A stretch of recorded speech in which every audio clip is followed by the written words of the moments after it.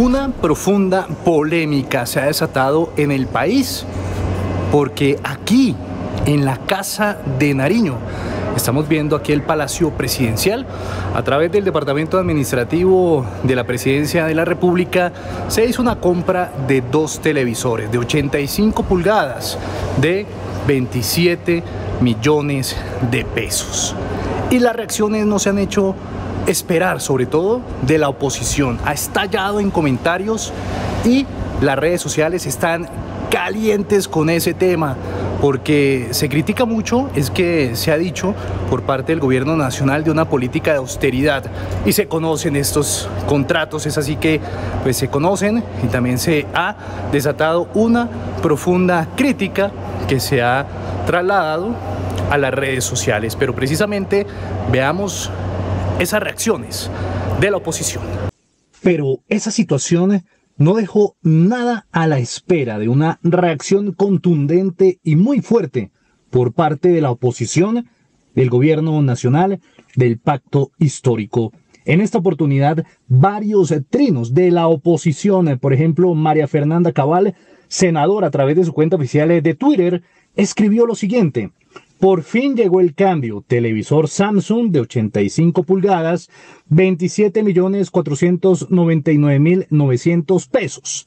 Televisor Samsung de 70 pulgadas, 10.867.000 pesos. Licuadora digital de 10 velocidades, 1.846.000 pesos. Y ella se pregunta en ese mensaje, ¿cuánta gente esperando que Petro fuera diferente? Pero así es la izquierda. Y continuaron las reacciones de la oposición que estalló con esa información sobre la contratación en la presidencia. Por ejemplo, Miguel Uribe Turbay dice lo siguiente, el gobierno Petro aseguró haber recibido la olla raspada. Está imponiendo una reforma tributaria que no se necesita y ahora compra para el uso personal del presidente sábanas y televisores de lujo por más de 70 millones. Absurdo y ahí pone un hashtag austeridad es.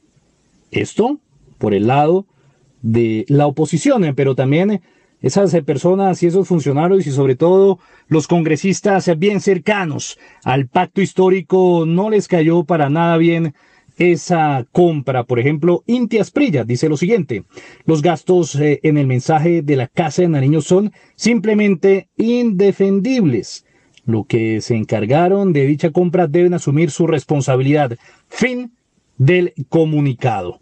También hizo referencia Gustavo Bolívar, el senador Gustavo Bolívar. Dice, la orden de Petro a sus funcionarios. No creo que él tenga tiempo de hacer compras, sus reuniones van hasta medianoche, apenas tiene tiempo de dormir y lo comprado no se ajusta a su nivel de exigencia. Creo que algún funcionario se quiso lucir no están cuidando al presidente, es la advertencia que hace Gustavo Bolívar. Y es que ha crecido tanto el tema que el propio director administrativo de la Presidencia de la República, Mauricio Liscano, ha reaccionado a través de su cuenta oficial de Twitter a una noticia que inclusive publicó Semana sobre estos detalles de los contratos que ha despertado controversia en Colombia. Así fue la reacción.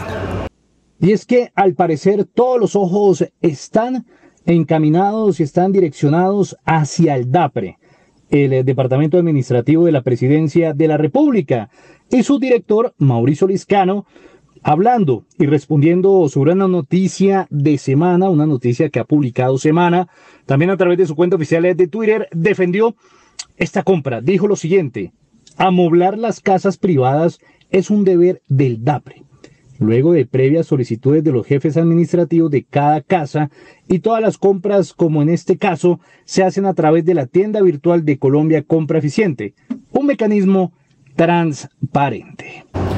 De ese nivel está la polémica en Colombia, está encendido el debate, el revuelo sobre esa compra que se hizo a través de la presidencia de la República, de televisores de 85 pulgadas y también de cobijas, de plumas de ganso, que van en contravía de la política de austeridad que ha impulsado desde que llegó a la Casa de Nariño el presidente Gustavo Petro.